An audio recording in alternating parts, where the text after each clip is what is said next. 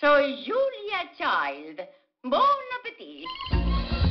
Antes de convertirse en leyenda gastronómica, Julia Child era una americana corriente que vivía en Francia. ¿No debería buscar una ocupación? ¿Qué es lo que de verdad te gusta?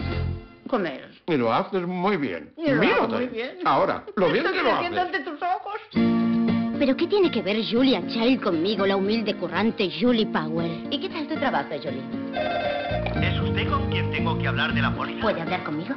¿Tiene influencia? No. ¿Te has enterado? Showtime ha comprado mi blog para hacer una miniserie. Yo podría escribir un blog. Tengo ideas. Escribe un blog sobre cocina. No soy una cocinera de verdad como Julia Child. Julia Child no siempre fue Julia Child. ¿Por qué no me apunta a clases de cocina? ¡Bonjour! Proyecto Julie barra Julia.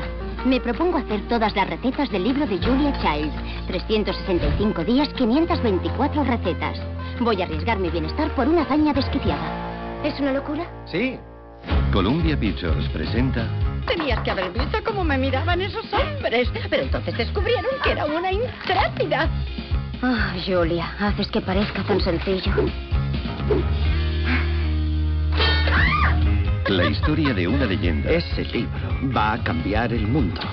que le dio la receta a una mujer para cambiar su vida. ¿Qué ocurrirá si no termino a tiempo? Habré malgastado un año de mi vida. ¡No! Todo se me cae al suelo.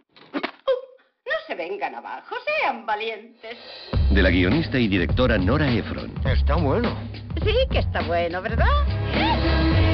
Meryl Streep, Amy Adams, Me estaba ahogando y me rescató del mar. No te embales.